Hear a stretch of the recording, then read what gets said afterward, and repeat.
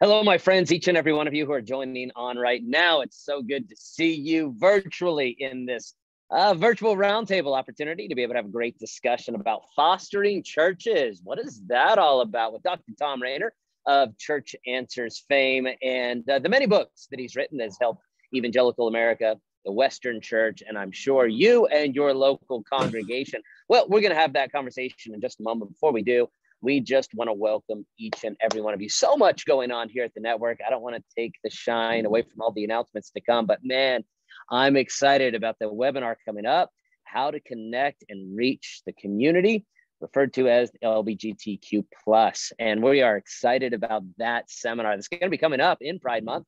Uh, where we, as evangelical Bible believing Christians, uh, have a desire to reach this community with the gospel of Jesus Christ without uh, watering down the the principles and precepts and truth about what the Bible calls sin. So it's going to be an incredible webinar. Obviously, each and every one of you as members get to join that webinar for absolutely free. We want to encourage you not only to come, but invite a friend and bring them along, somebody within your own local ministry, uh, somebody, a deacon, an associate pastor, a friend, maybe a pastor friend who might be saying, you know, I really have a heart for this community, but I'm not sure how to reach them with the gospel. Definitely invite them. Uh, but a special welcome to each and every one. We are glad to have you here. I'm looking to see if Jeremy is uh, on yet. Uh, thankful for the vice president of the Idea Network as it relates to the initiatives in which we have. Is Jeremy on? I don't see him yet. If not, I'm going to throw. Okay, Jeremy. Jeremy, if you'll go ahead and take over from here and, and go to prayer. Hey, Josh. Good to see you. Good to see all you hey, guys. Jeremy. Hey, Steve Miller, great plug for the membership today. Thank you for that. We appreciate you uh, doing that for us and using your influence to help with the network. And uh, I'm going to ask that you uh, you pray for us. Would you do that today? Sure, I'd like Thanks. to. That, let me pray.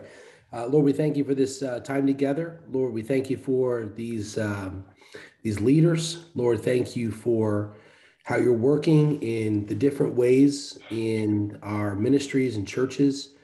And uh, Father, I pray that uh, as we learn together again this week, that you would just help us, Lord, to grow, uh, Lord, through your grace. Uh, Lord, help us, Lord, to be teachable and open to how you are leading us as we lead the works that you uh, have for us. And Father, I pray that you would just give us wisdom. Bless, Lord, not only the the general time, but Lord, also the breakouts. And uh, God, thank you, Lord, for this group today. Father, bless us as we meet. We love you. In Jesus' name, amen. Amen. Hey, glad you guys are with us today on the call. We still got guys coming in. Uh, thanks for taking time out of your Tuesday. I know May can be a really busy month for all of our ministries, but thanks for taking time uh, to be with us on the call today. Uh, before we get into our topic, I did want to remind you about the LGBTQ webinar. If you are not registered, register for that as a member. You can do that for free. Uh, if you know of other people that would benefit from it, I think it's a discounted rate that you could get them in uh, go on our website and go on our uh, page to do that and get them registered. That's going to be coming up in the month of June, and we're really excited about that. Uh, we're going to go live here to Dr. Tom Rainer of churchanswers.org. We're going to uh, really, we're uh, privileged to have him with us today. One of the things we're going to do a little bit differently today is instead of breaking out into sessions, I think we're just going to stay live and do some live Q&A with Dr. Rainer. So if you've got a question, uh, that you would want answered as he's speaking. Uh, write it down, throw it into the chat, and we'll just kind of moderate some general Q&A for all of us here uh, in the room today. But Dr. Rainer, thanks for sharing your time with us. I'll turn it over to you. Thanks for being here today. Uh, thank you. Always great to be with the Idea Network gang and uh, this information that um, I'm going to be sharing with you is in some ways new, in some ways not, in all ways important because it's all about the Great Commission. And it's the whole idea of fostering, but it's not fostering an individual, it's fostering a church. Let me give you a little bit of background of where we began this journey of uh, helping churches to understand the whole idea of fostering. First of all, definitions might be in order. Um, most of you are very familiar with the word revitalization. Church revitalization refers to an internal uh, uh, internal movement of a church getting healthy. So you use your own resources, your own people. Uh, you you do everything you can to turn a church in the right direction and a gospel direction uh, but you're using your own resources. And that's it's called revitalization. Revitalization, of course, simply means to live again. And that probably has the most, um, at, at, least at this time, the most attention. Uh, I was trying to reach over here. Uh, son Sam wrote this new book called The Church Revitalization Checklist. It has become the primer for, for uh, church revitalization. It's brand new. I'm very proud of him. And it's part of our partnership with Tyndale. It's the Tyndale Church Answers Publishing. This has about as much information as you would want to get started if you want to look at church revitalization. That is not our purpose, though. Today, our purpose is to talk about fostering church revitalization. Okay, internal resources to get our churches healthier. Then there's another word that has come into play. Uh, we call it adoption. And again, not referring to biological adoption, but a church adoption. And adoption is when a healthier church brings a less healthy church in the family. We like the nomenclature adoption. And again, Sam coined that word for what was called replant or acquisition or merger with one, one church becoming the dominant church or the owner church in it he he said really what is happening in the most healthy way is when a church that is healthy brings another church into its family the healthy church becomes the controlling church becomes the owner of the assets but at the same time they welcome another church into the family adoption has been manifest in multiple sites where a church will adopt another church and they'll become a site of the church that is doing the adopting. It has been a way to keep churches from closing the doors. It's been a way to uh, help churches return to health, and they may have been desperate otherwise if they had not done that. So, adoption is another one of those phrases. So, if revitalization is turning a church toward health with internal resources, Adoption is turning a church toward health with external resources.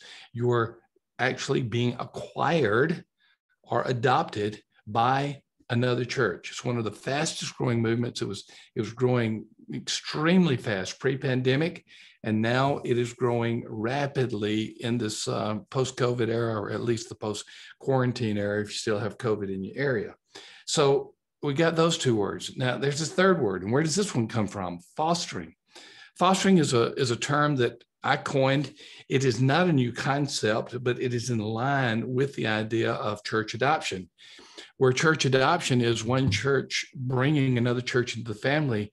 Church fostering is helping a church get healthier temporarily without bringing it into the family. So th- think of the fostering relationship.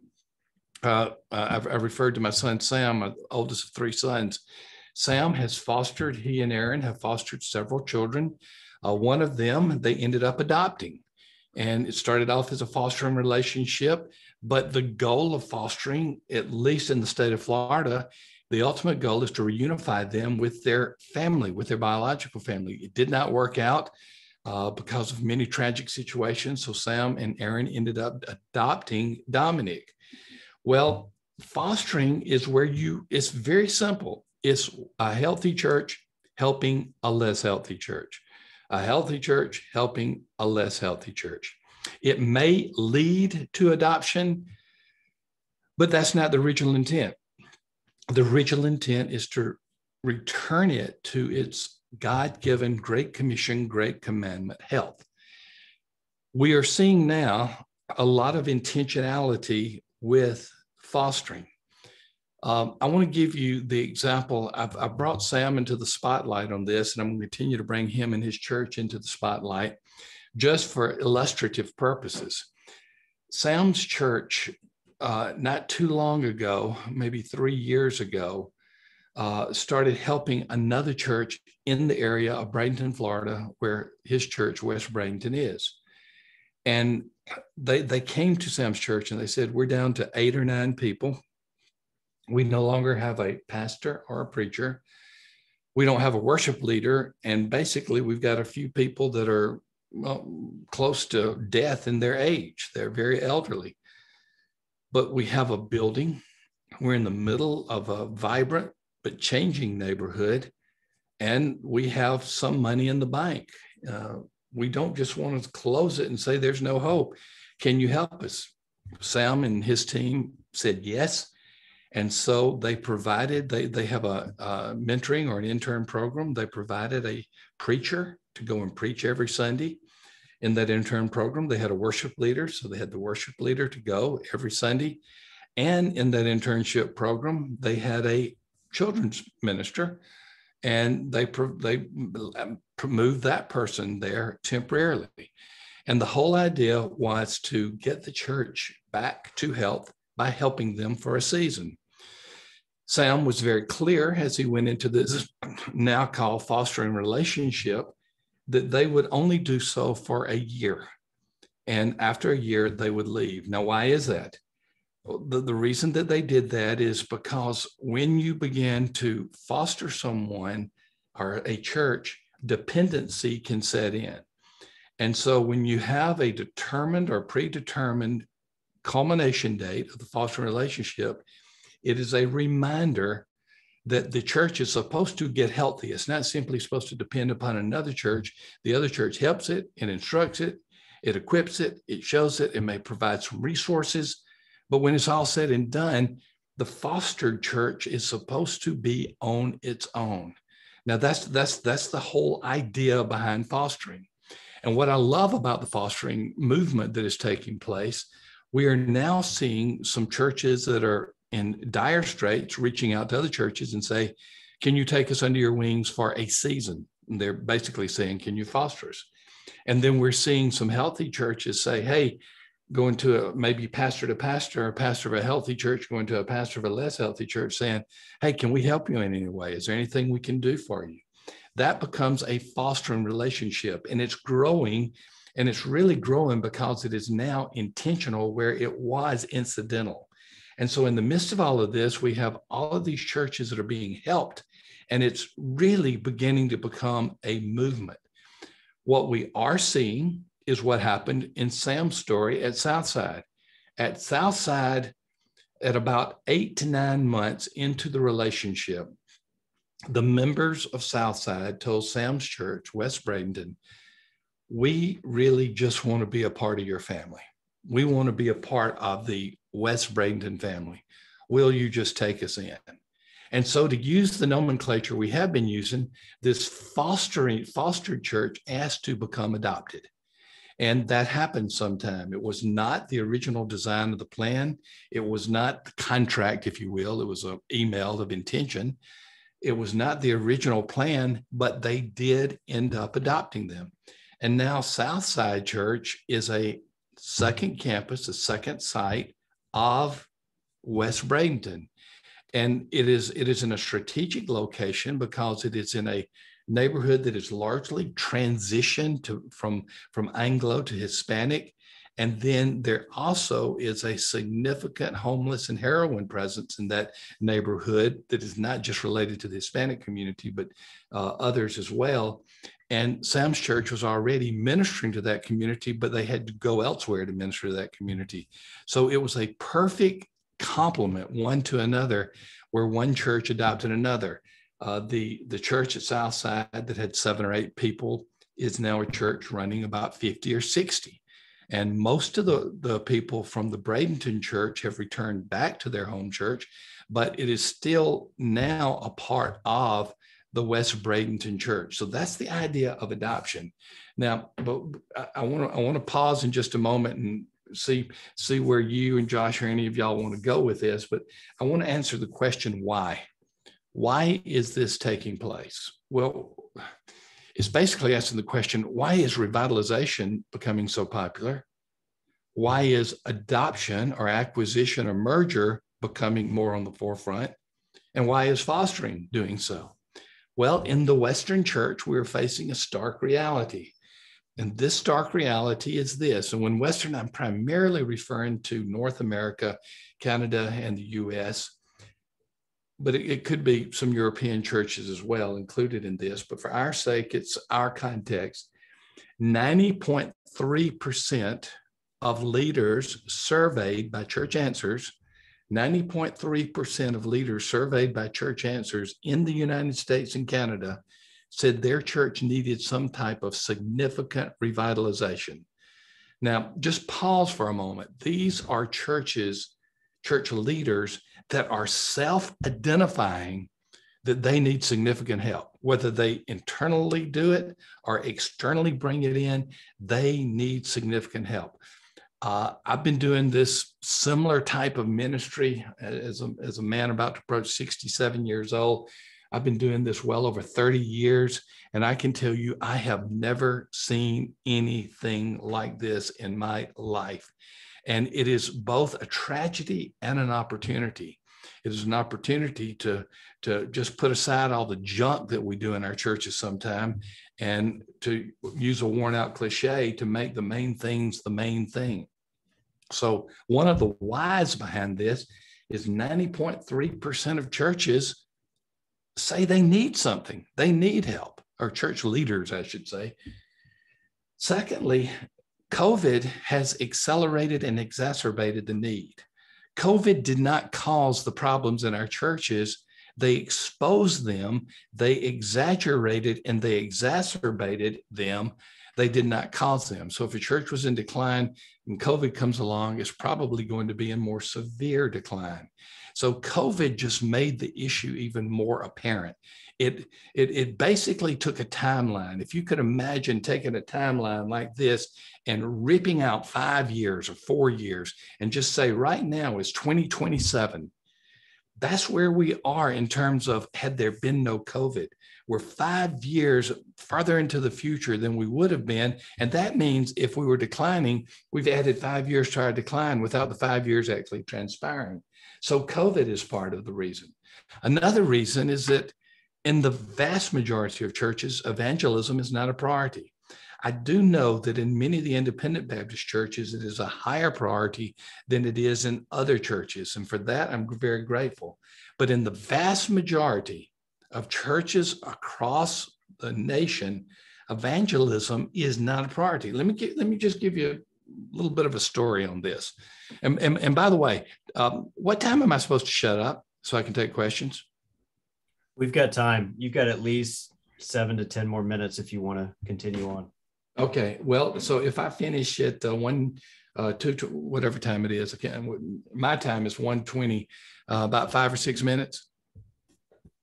Yeah, that's okay. great. You're not dragging at all. You're you're great. Stay. We're, we're with you. I know I'm not dragging, but I just don't want to keep people. So I, I want I want to make sure I'm since I want to be sure I'm sensitive to time. Thank you. So um, let, let, let, let me just let me go on to this example that I was going to give you. We're doing a consultation of a of a church. Uh, it's denominational, but it's not Baptist, and I'll just leave it at that. In Texas, and as we interviewed individuals for this consultation, we not only found out that 0% of the members were doing evangelism, and I did say zero, we found out that about three out of four of them did not even know what evangelism was. And, you know, the church wanted to know why it's not growing. I said, well, probably you're not growing because you're not reaching people with the gospel because you don't know what the gospel is and you're not trying to reach people.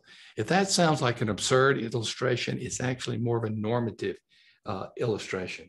I'm going, I'm going to put one other point on here. I had several I could do, but I got to take up too much time and it may come up in the questions.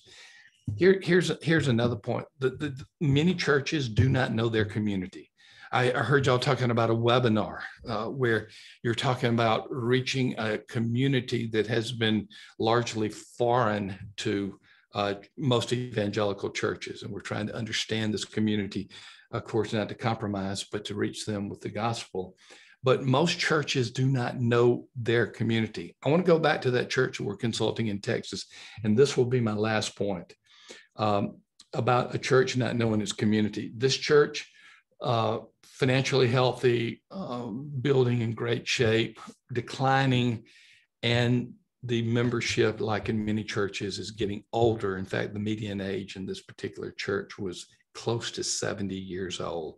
And they didn't have a lot on the other, on the younger side of 70 uh, to bring the average age down that much.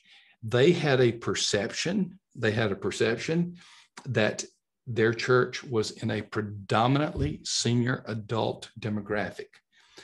Well, we did a study uh, we, we, we, we have this study that we do called Know Your Community. And we did a study of a 15 minute drive. We believe drive time is the most important way to do this. We did a study of a 15 minute drive time.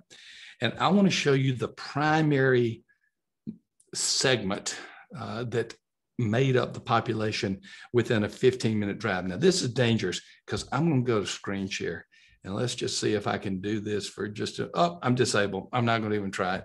So uh, don't even worry about enabling me because I'd probably mess it up every time I go to screen share anyway. I was going to show you the, the, the dominant segment, the characteristics that were there, but, but, but here, here's the point.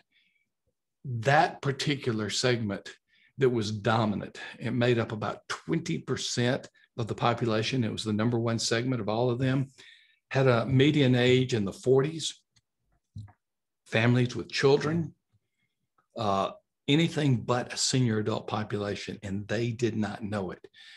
When we meet with church leaders and we say, This is your community, just from a data, a demographic point of view, inevitably, almost unanimously, but inevitably, pastors are surprised. Another quick example um, we were meeting with what we call a micro consultation, where we get 10 to 12 pastors together uh, in a room for two days and just look at their churches in great detail.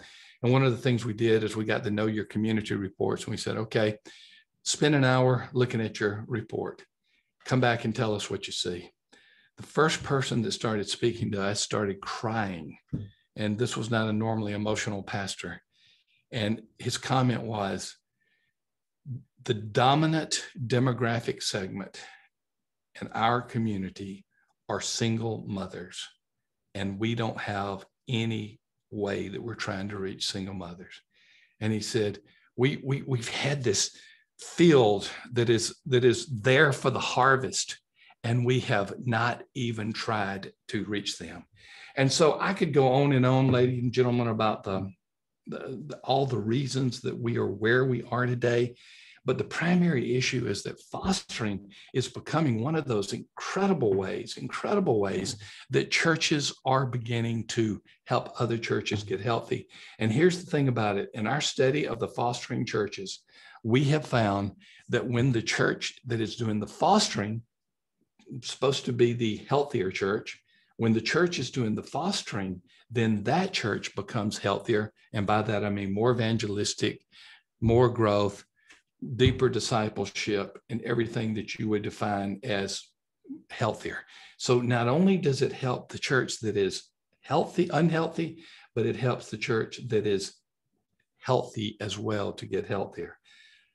Passage that we read in our church to wrap this up every Sunday at the conclusion uh, it comes from Matthew 9, beginning in verse 36. You know this verse. When he saw the crowds, he had compassion on them because they were confused and helpless, like sheep without a shepherd. He said to his disciples, The harvest is great, but the workers are few. So pray to the Lord who is in charge of the harvest. Ask him to send more workers into his fields. For two decades straight, we have been studying the receptivity of lost people to the gospel, and the receptivity is high. Only 5% are antagonistic towards someone sharing the gospel with them or even on a lower key, inviting them to church. One of the big reasons that we have so many unhealthy churches right now is we are perceiving that there's not a harvest field that is out there. But the words of our Lord said it 2,000 years ago, and it's still true in 2022. Fostering is just one of those ways, but we think it's an incredible way to reach people with the gospel. I'll wrap it up there. We could probably go in a lot of different directions, but I'll pause for right now. Awesome. Thank you, Dr. Rainer. Um, any questions that you guys have got while we have him? I appreciate his time and the work that has gone into all this research. Any any of you guys want to throw your hand up, just unmute yourself and uh, ask a question? Steve, you look like you got something you want to say, man. Go for it. I do. I have a question. Thank you, Dr. Rainer, for this information. So you mentioned a couple of times where a church approached an unhealthy church approached a healthy church. Could you give maybe some best practices or some context when it's appropriate or the way for a healthy church to approach an unhealthy church? Because that would be the context that we're kind of in right now. uh, where there's a couple of churches I've been looking at, and I'm just not sure how to approach them. And my, I guess the second part of my question would be when you do approach them, are you trying to help them implement things mm-hmm. that you would want to see the church do, or are you trying to help them implement things that they want to see happen? That would be the my question. First part of the question is relationships, relationships, relationships. If you really want to help churches, and presuming that the church has a pastor in place, you as a pastor or leader of your church need to start spending time with that pastor. You need to start getting to know him, having coffee with him, taking him out to eat, and just saying, I want to get to know you. And um, you, you may do that with two or three or four pastors of these churches inevitably relationships are going to lead to discussions discussions are going to talk about the church and inevitably that pastor or you are going to say at some point can we do anything for you? How can we help you? And it may he may just say pray for us and that's all we need. Do you need any resources? Do you need this or that? If you are in a healthy relationship with pastors in these churches they are hurting. They need to know that someone cares about them. They need to know that there's help out there. And if you're if you're in a relationship, just coffee, meals, and time with these pastors, I can give you a high level of confidence that if you do this with three or four pastors, it'll only be about three, three, three to six months before some type of fostering relationship begins. So don't force it. Let it be relational relational. And what you may find is there may be the request not for a fostering but for an adoption. But fostering is less threatening to most pastors because all you're doing is offering to help you're you're not offering what they may perceive to be a hostile takeover uh, which is sometimes the perception of the ad- adoption relationship uh, give me a quick review of the second part of your question i'm old and i forget anything that's longer than 45 seconds Totally fine. So when, let's say they do open up and say, we'd like for you to come and foster us, and that would be great. As the healthy church, are you trying to change their culture or implement things that would help them become healthier? I remember the question now. Okay. What you're trying to do, and without without trying to be flippant, is none of the above. What you you're not trying to do what they want to do, and you're not trying to do what you want to do you want to you're, what you're trying to do is what the community what the community god has placed them in dictates. And that not that not that context has more power than scripture but context tells us how the scripture may end up playing out in that context. So one of the first things i would do if i'm fostering a church i would get one of those demographic psychographic reports and just find out what their community is. Say, let's start off by finding who who is here. And and uh, uh, Josh, I'm gonna just give a quick plug of ours because ours is the the one that I like the best. So if you don't mind me doing that one, uh, uh, just just go to churchanswers.com and click on demographic reports or click on know your community.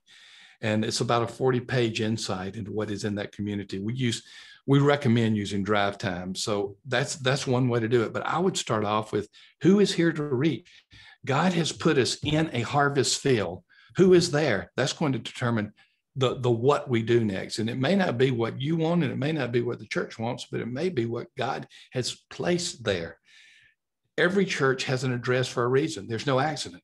And the church you're fostering has an address for a reason. So find out what that might be. Great question, Steve. Uh, who else? Who else wants to jump in here with a question?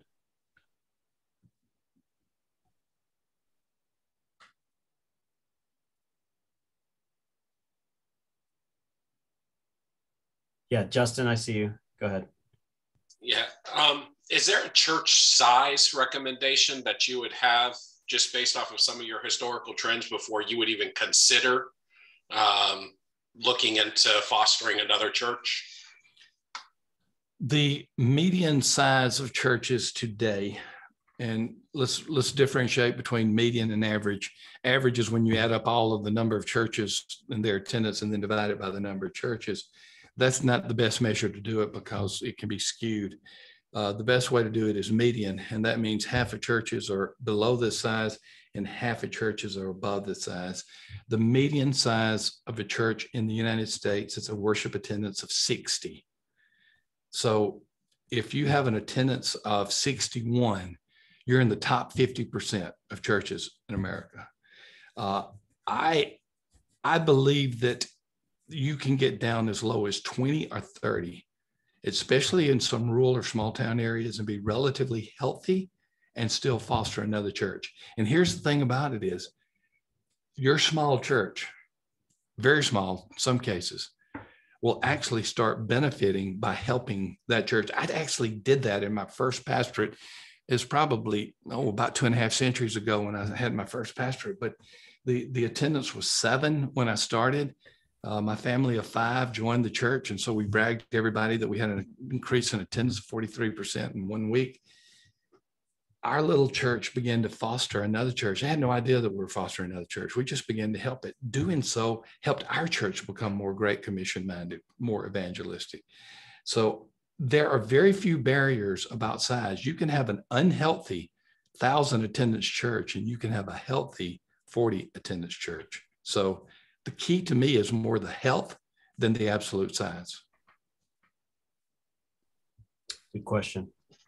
What else? I saw a hand a minute ago and then it went down.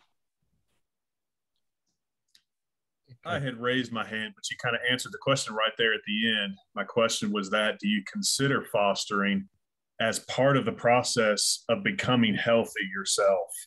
Um, you know, as, as we're looking to revitalize our own churches and we're going through that process of doing things that that cause us to become healthier, is this something to consider? But you kind of answered it there towards the end. I'll, I'll, just be a little more emphatic about it, and I'll say absolutely.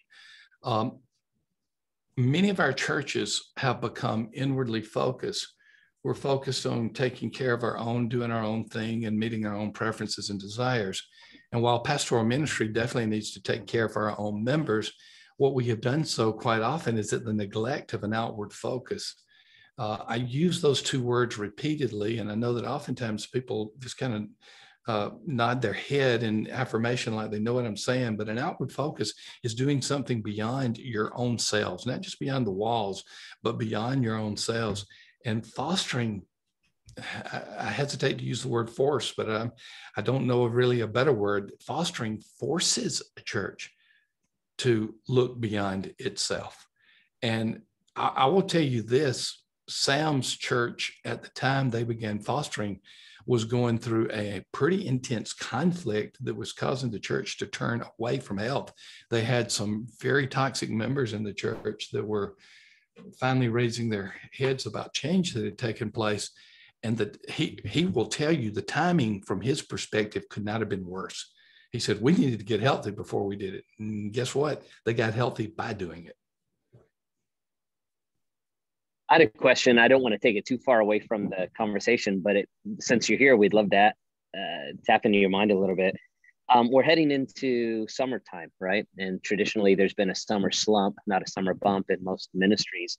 And um, coming out of COVID, um, internally at Southern Hills in Las Vegas, we were calling it the summer of vacation because everybody's telling us they're going to be gone, they're going to be gone. Everybody heading out, uh, traveling for the first time, maybe for a while with all that being stated, is there anything that, that you're seeing some healthy churches do, or maybe you would suggest to us in preparation for this unique summer and the opportunity of a good harvest in the fall? Anything that we should be thinking through now in the month of May as we're heading into this unique summer and then the fall of 2022, and that would gear our minds toward um, healthy church attendance or a healthy church as a whole? I give you two couple of practices, Josh, that I'm seeing, and you would, since I've worked with Southern Hills, you would anticipate that I would, I would say the first one for sure. And uh, if if groups, whether they're Sunday school classes, home groups, cell groups, small groups, whatever the group name is, if groups uh, are not meeting, if, if there is some way that they can maintain some type of contact with each other, if they are meeting and can uh, bring people in even uh, via Zoom or some other method, here's what we have found the absence of meeting together during COVID was least harmful for the churches where groups were meeting virtually. And so, one of the things I could say is there any way for these groups to stay somehow connected, even if people are going to be gone? Uh, you know, is it a 10 minute, hey, let's all get together on a Wednesday night at nine o'clock or something like that so that we can just stay in touch with each other. So the glue that holds many churches together is groups. And uh, y'all may have heard me say this stat, uh, but it's worth repeating.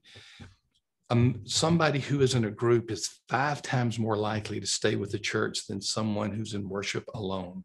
So groups are really the sticky factor, the, the glue that, that takes place.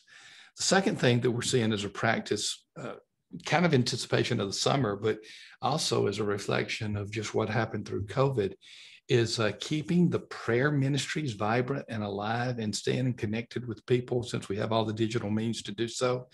Keep as it as, as we're putting the prayer needs, and it's not just the physical needs, it's inclusive of that, but all the prayer needs before people. And then third thing is if you have a major evangelistic or outward focused thing planned for the fall, start building up anticipation for that during the summer. Let people know that even if if a lot of people are gone, that uh, the summer, hey, we plan to have a far a harvest time and outward focus time. Those are three of the practices that I'm hearing right now. Excellent. Hey, Thom, Excellent. those are great things. Um, hey, what if there's a guy on here right now that is pastoring a church and he needs to maybe consider being fostered? We are talking a lot about fostering churches, but maybe there's a guy or two that need help. What, what are some things he needs to be looking at to consider that?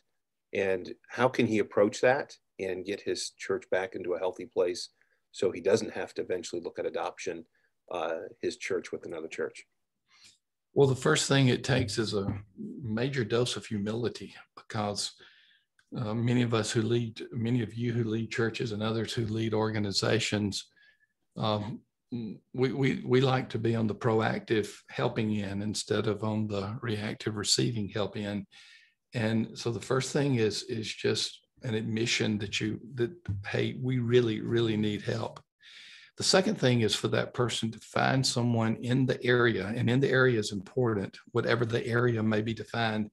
But if a church is going to help another church, they need to be have some geographical proximity to each other.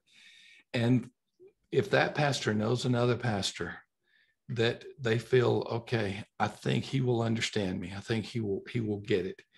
Then that pastor, the one that is seeking to be fostered, sets up the relationships that I mentioned the other way, where the healthy church pastor was initiating it. Now it becomes the less healthy church pastor is initiating the relationship. Again, coffee, meals, whatever the case may be. I will say that word again and again in the context of adoption, fostering. It's relationships, it's relationships, it's relationships.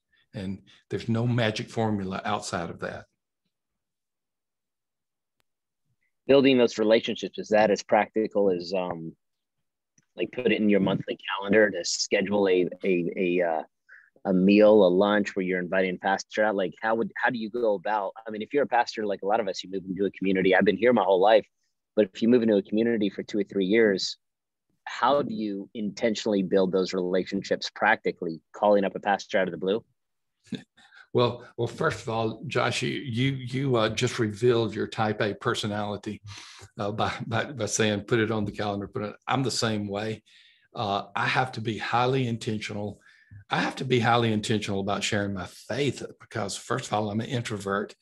Uh, I, I, wear. I have a T-shirt that I wear sometime uh, that uh, has a cactus on it, and it says, "I do not hug." I'm just. I'm just. A, I'm just a total. I'm a total introvert and so I have to be highly intentional about almost anything that I do. And yes, you would have to be highly intentional about reaching out to another church pastor, not with the idea of saying, Hey, I hear your church stinks and I'm here to help you, but just to build up a relationship. Here's, here's some things about it. Uh, many of these pastors who, who are intentional about reaching out and putting on a calendar, I'm going to take you to coffee or whatever they began to learn things from that church and even though they thought they were the the one helping they began to learn things as well. It's a very healthy thing for you to reach out but yes it requires a whole lot of intentionality to do things. And with our calendars as booked as they are it seems like it's just one more thing. But look we aren't just pastoring a church we're pastors in a community and everything we can do to help other pastors in the community makes our mission feel better for the glory of God. Great. Another question? Any, anyone else have something they want to ask? Uh, this is uh, Tim in uh, Fredericksburg, Virginia. Uh, Dr. Rainer, uh, how much money would tend to be involved in uh, fostering? And then, secondly, what practically do you do in fostering besides encouragement and relationship? Like, how do you practically help that church? Uh, the, Tim, the, the financial commitment is a big, it depends. Um, it, your, your financial commitment could be zero and they they need a worship leader and you have someone that has some musical and worship leadership ability in your church and you send that person for a, a season. It could be that they have no children in the church and they want to do a backyard bible club or vacation bible school and you send a, ten, a team of people for a season and then do follow-up. In that sense the financial investment is could be zero Sometimes the investment is of the facilities, and that is a way sometimes to get your foot in the door, and that is uh, uh, the, the the church has has um, all kind of deferred maintenance, and some of the facilities may may even be in danger of something happening to them, and that would require an investment. I will say this: I know a church in Cincinnati that is doing this both for churches and for for homes. They're finding out if they have adh or whatever the uh, disability the, the the right kind of ramps going to their churches. And they're offering to do that and that gets their their foot in the door because many of these older churches do not. So the investment depends upon how the help is going to take place. And you will again you don't have to assume that is going to be a large amount. Now i know tim you asked about the money amount. What was the other part of the question just uh, practically, what are some things you can do outside of encouraging them? Um, you know, how do you really foster them to help them to become healthy? And, and again, I think I've given you the examples with providing worship leadership, children's leadership, or children's ministry, vacation Bible school, and the like. But here's how you'll find out. You'll ask them, you say, how can we practically help you? And if the relationship is built sufficiently, they will tell you and you won't have to worry about doing all the objective or subjective research on that. Good. Steve Chevron, I saw your hand. You still have a question there or did that get answered?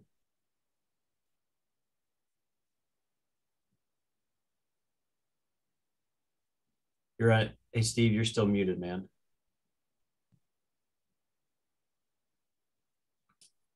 There it is. All right. It's like I've never used Zoom. Uh, thanks so much for your time, Dr. Rainer. Um, sure. I know that uh, Steve Miller had a question that was close to this, and you gave an answer about, you know, what to do. What do we try and implement? And you said that what what their context demands. What do you think are maybe three of the top three areas of a church that need to be attacked first? Is it if a church is dying mostly it's a cultural issue, right? I mean, more times than not, it's a culture of a church. Uh, how do you approach that with a pastor? And it's not just what they do, because all of us tend to do the same things. We just do it in a different manner, right? So how do we how do we approach those cultural changes that need to be made, at least from what we see from supposedly a healthy church to an unhealthy one? The, the, the key to this is any unhealthy church or any church with lack of health, it is usually due to an inward focus. It could be conflict, which is an inward focus. It could be failure to, to know the community or reach the community. But any cultural issue, uh, you know, think about an unhealthy family, for example. Usually, an unhealthy family, or let's say a marriage, you have one or both spouses who are asking, What can you do for me? Instead of the healthy marriage where each spouse is saying, How can I help you grow and how can I love you more? And so, in a church, if there is a cultural problem, it is due most of the time, maybe close to all the time, to an inward focus. So, the key is what can you do to get them outwardly focused? one of the resources we have at Church Answers is called Pray and Go. And it has proven to be just incredibly helpful as a simple way to get churches outside their walls. And basically, it's just walk in your neighborhood. And as you're walking, pray for pray for the people in the home that you're walking by, and leave a door hanger that says "We prayed for you," and uh, uh, here's our address and website if we can do anything for you. Not even knocking on a door. We've seen churches that have had transformation just because of that pray, just just simply getting out and praying for homes as they walk. It's getting them outside of their holy huddle and getting them from the inward focus to the outward focus. And so I would I think I'm going to state unequivocally that most problems of culture can be identified to an inward focus. Good question. We've got time for about one, maybe two more. If anyone's got something lingering, um, Morris added to the chat the I am a, uh, discovering church membership, the difference. Um, I am a church member. Uh, any other resources you would recommend, Dr. Rainer? You mentioned Sam's book. What was the title of that one? Funny you should mention it. The Church Revitalization Checklist by Sam Rainer. Um, any other resources other than that and the website? And you said the demographics report, Know Your Community report, that's available on mm-hmm. Church Answers. Is that right? It is. And um, I, I, think you can go to knowyourchurch.com. Somebody can check me on that. I think we have the URL. Uh, and then I also mentioned our resource called Pray and Go. And I, I think it's uh, prayandgochurch.com, or you can go to the Church Answer site, but I think it's prayandgochurch.com. Great. Any other questions? Those, those are those are three of them. Walter. Yeah, I have a question. Um, something that I've heard a lot in my area. Um, I've talked about the the the the five percent that are antagonistic towards the gospel, and I really push towards evangelism in our church. And a lot I've heard a lot of t- towards that. They say, well, that that's includes the South where or that includes other parts of the country and in in in where we're at in the New York City metro area it's that made that may be a different side. Do you know anything about as far as that statistic is that like a nationwide or is that like an average? The original study, it's been a longitudinal study. Notice I have all my books ready. Started off many years ago with a, with a um, study called The Unchurched Next Door. And the thing that we did is we sent our research team across the nation. We sent them to the Northeast, we sent them to the Northwest, and we did this study without geographical bias. There is a geographical bias when you're talking about church receptivity. We found no geographical bias with gospel receptivity. So, in other words, someone in Birmingham, Alabama you're going to have that same percentage or a similar percentage as you would in Augusta, Maine, and and our New York City, if you want to go with the metropolitan uh, area. So receptivity to the gospel did not have a geographical bias. Most people think of who attends church, and so that's receptivity to attending church, which is another issue into itself. But receptivity to the gospel did not have a significant geographical bias. As a matter of fact, we found some people in the deep south who were so convinced that they were saved even when they were lost, they were more resistant to the gospel than some of the other people. Hmm. We got some resources that have been added to the chat. Check those out. Maybe you got time for one more question. Anyone else want to close us out with a final final question for Dr. Rainer? Yeah, Steve. Okay, good. I was hoping. Um, so, Dr. Dr. Ray, I have a question. When it comes to fostering, building relationships, you're in a fostering relationship with a church. My question is, when do you stop fostering them, and when or if do you have the conversation with that pastor that might lead to adoption? Um, yeah, that would be my question. Uh, Steve, you go into the relationship with a predetermined expiration date. That can always change. But if you don't decide on it on the front end, you're going to end up with scope creep and you're going to end up with dependence. So you go in with a predetermined date. Uh, again, spirit can lead differently once you get into it, but that has to be done. And I would recommend nothing more than a year, maybe even shorter. And, and you tell them the purpose of this is we want to help for this length of time, and we hope that you will be on your own. Then the idea of when, at what point does this become potentially an adoption? That's a question that is not answerable, but it always becomes answerable once you get going in the fostering relationship. One of two things is going to happen. One of three things is going to happen. You're going to leave, or your the health church is going to leave, and the church is going to go back the way it was. That happens, and it begins to climb. You're going to leave, and the church is going to take everything they learned and become healthier or you're not going to leave and you're going to come together. You will know which of those three are most likely to happen, usually within the first three months. And so you don't need to you don't need to have Rainer or somebody who thinks they have answers tell you exactly when it's going to happen. You will know, just like the South Side story. They came to him. Excellent. Hey, Dr. Rainer, I really appreciate your time, just taking time to be with us today, sure. share your heart, answer our questions. We really appreciate that. I think we've already got you scheduled to come back later this year, and we're going to be looking forward to that. But I want to be respectful of your time today. I know you've got some uh, another call to be on here in a few minutes, but just from our perspective, thank you so much for pouring into our lives and ministries today. Really oh, appreciate oh, you being with us. Absolutely. Josh gave me permission to tell y'all about one thing as I leave. Uh, our organization is offering certification in ministry. Some of you have Bible college degrees, maybe seminary degrees. That is good. But as you, as you raise up other people, or as uh, you begin to see the, the need for more compressed ministry training and education, we are offering a certification, which is a, really, really a, just another form of a degree or, or something similar to prepare people for ministry. And it'll take six to nine months. The cost is so much less. I mean, all 10 courses are $1,900 and uh, complete certification. We see that as the future of many people, not everybody. It's not to eliminate Bible colleges or seminaries. So uh, you can check it out. You can go to churchanswers.university and check that out and uh, see. We will launch that in August 1. So if you have any interest, we'd love to have you. Awesome. Thanks again for being with us today, Dr. Rainer. Before I kick it over to Josh Tice to close us out today, uh, I did want to let you know what we've got coming up next week.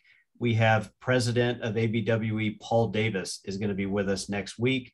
You will not want to miss Paul with the talk that he's got for us really good discussion today. Appreciate Dr. Rainer being with us. Check out those resources that he mentioned. I'm going to turn it over to President Josh Tice to close us out today. Your Excellency, I just want to mention Adam Bray. Guys, this is a really incredible post. I know some of you already saw it in the uh, private Facebook group for official members, but Adam has been working toward the senior pastor position for many years. And over the last couple months, it was really touch and go whether or not this church in Georgia would be receptive to him as the pastor. And as you know, if you saw the post, he just got voted in this last week. So this is a huge thing. And I just want to encourage those of you who know him, uh, obviously have already probably congratulated him. If you don't, could you go on either the post or text him personally and just let him know um, how, how excited we are for him. But really, not just excited for him and his family, excited for this church the fact that this church is going to get a minister like Adam behind the pulpit and in the leadership role at that church, it's going to be exciting for them. So we're really excited for that and uh, excited for you, Adam. If you're watching this a little later, we know he's an official member as well. And we're thankful for him and his ministry. It's good to hear from each and every one of you. If you need prayer on anything, please reach out to any of us uh, at the Idea Network within this membership group. Reach out to me personally. Let me know. Looking forward to seeing a lot of you coming up here in uh boy now it's what six seven months away coming up at the end of january in dallas texas. Excited about that as well. Thank you so much. We're going to let you have a few minutes early and thank you again uh, jason for hosting us today. Bye guys. Have a good week